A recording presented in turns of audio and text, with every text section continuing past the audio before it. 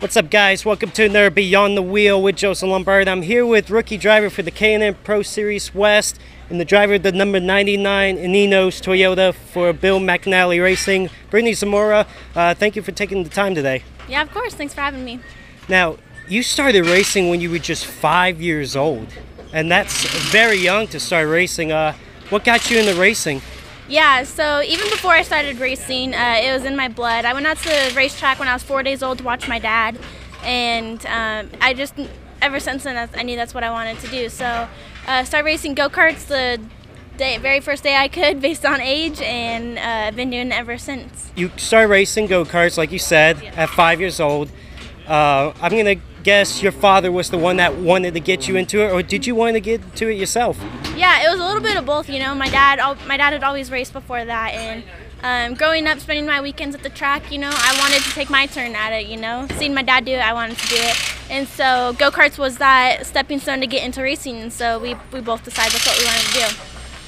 So, at what moment did you wanted to move up into late models? Because obviously, it's gone very successful for you so far. So, did you wanted to get into late models, or because your father apparently used to run late models as well? Yes.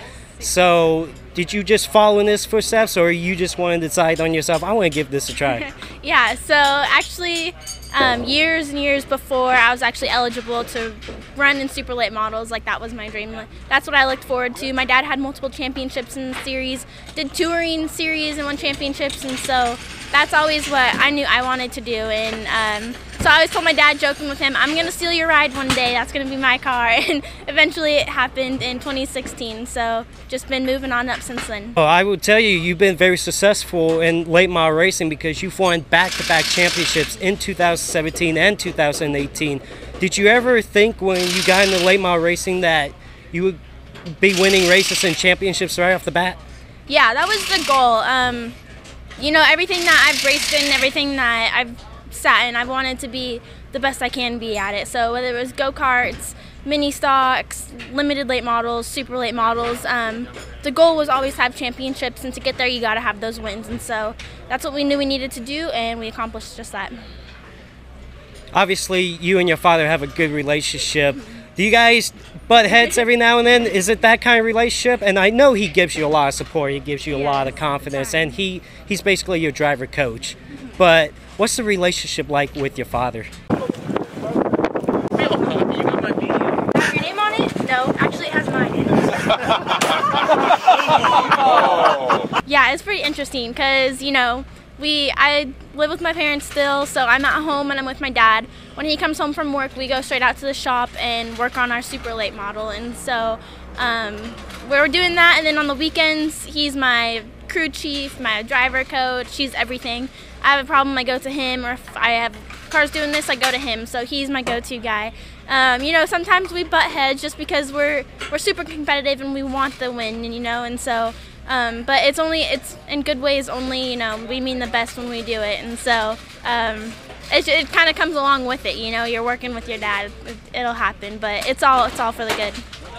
Now, I noticed that obviously your father works on your late models and stuff, but here on the K&N side, he kind of steps away and just watches it. Is that difficult for him? Oh my gosh, it's really hard for him. Yeah, he he doesn't he almost doesn't know what to do with himself, you know, because usually we come to the track, we unload as a family, we get the car ready, we put it on scales, we do the whole setup of our pit and everything. And so when we come here and we have a team doing that for me, it, he's just kind of like lost. You know, he wants to be hands on, he wants to be helping, and he wants to you know, like hear what the car's doing and be able to fix it. But you know, he has to take that step back now that we're in the K&N series and running with Toyota and BMR.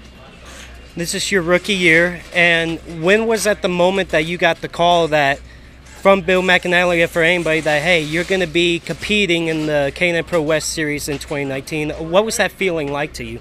Yeah, so it, it was kind of like a slower process, I guess. You know, I, I got invited to a combine, and um, there it was like stuff was in the works, but I didn't know what or with who or anything, and so um, it kind of came up that maybe a possible K&N ride was in the um, looks for 2019, but I didn't want to get my hopes up too high because I mean, it's super hard. I mean, there's only 19 drivers that are racing this weekend out of everybody, so um, pretty hard to get in this field. Um, you gotta have the right sponsors, you gotta have the right people backing you. And so when it finally came about, I was relieved. I was excited. Um, I excited. Yeah, those pretty much my emotions were all in one, and um, I was ready to make the most out of the season. Two races in in the European season, also at Bristol as well. Uh, 11th at Vegas, 8th in Irwindale. Um, we're here in Tucson tonight. Obviously, twin races. You guys had a couple of practice sessions last night. You're about to have a couple more in qualifying, and then, of course, twin races tonight. What are we expecting out of you tonight? Yeah, I'm hoping for top five or podium. Um, Vegas wasn't really a true test of what my team and I can do in a car, you know we that was only our second race ever working together second race in these cars and they throw me on dirt. I've never spent a day on dirt in my life and then um, i think irwindale the first 75 laps there truly showed like what we can do as a team you know? We went from 11th to 4th and we were fighting for podium spots right there. Um, we just didn't quite adjust the car to where we needed it to be. We over adjusted a little bit. Um, so i was fighting the handling of the car but i mean we, we showed what we can do and so now we just got to go out there and prove it and get those finishes so, what's the ultimate goal for this season? Obviously, winning races and a championship, but is there something else you also want to accomplish and learn for racing with BMR? And what's the relationship like with the with the team, BMR, the drivers? I mean, what what's that relationship like? Yeah, so my goals is um, first year, you know, I really want rookie of the year. I want to keep that going for BMR and then um, for myself as well. You know, we worked really hard so far this season, and that's kind of um, one of our biggest goals for this year, and just to be able to be up running up front and consistent. I mean, if you can do that, you, are proving yourself during the race that you you deserve the ride, you deserve the opportunity, and that you have the talent to be here. And so um, my team really helps me with getting there, and it's a really cool environment. I work great with my team. My crew chief is amazing. We we've worked really great since ever since the first race, and um, you know Derek's great to work with. Uh, we're pitted right next to each other, so it kind of helps. You know, we're just mm-hmm. right there, and we talk to everything, talk to each other about everything, and so um, it's a really good environment, and hopefully we can just keep building on it and getting closer as a team. All right, now I got a couple of questions from the fans that has submitted questions for me to ask you. So, if this first question comes from Emmett Swanson, if you weren't a NASCAR driver, what occupation would you want to have? Oh, um, I would definitely be a professional dancer. I danced for 15 years. I'm a national champion. Um, I would go and dance on the weekdays. On the weekends, I'd be at the racetrack. And so I definitely miss it, but kind of had to choose one or the other, and racing is the path I chose. The second question comes from Joshua. Um, what is your long term goal for your racing career?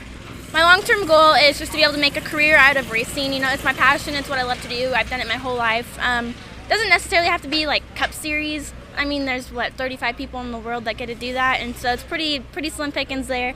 Um, if I could make a career in K&N, that'd be amazing. In trucks, even better. Um, or even if it's going back down to super late models and running Saturday night shows. I mean, there's people out there doing it right now, so if I could be doing that, that'd be pretty sweet. As long as you're in the race car, exactly. you'll be happy, right? Exactly. Yeah. Well, hopefully we do see you eventually in the top series, uh, whether in the trucks, Xfinity, or Cup. I think you got a long good career left in you. You're 20 years old. You just turned 20. And uh, I wish you the best of luck. Uh, before we let you go, is there anybody you got to thank for your opportunity to get where you're at today? Of course, yeah. Um, I want to thank Toyota for picking me out and giving me this opportunity. I want to thank BMR for all their help this season, ENEOS, NAPA, the Davis Groupe. Um, there's, there's so many people backing me, and I want to go out there and show them that they made the right choice in choosing me. Awesome. Well, Brittney, thank you for taking the time today to do this interview, and uh, I wish you the best of luck tonight and your racing career. We'll be watching you tonight as well. And I could just see your dad over there. He's just he's so badly wants to get his hands know, on the yeah. car, just work on something. So hopefully, maybe eventually he'll get to get his hands we on. got something. another super late model race in two weeks, so he'll get his fix. awesome. Well, good luck to you tonight. I'll be watching you and uh, enjoy the race. Thank you.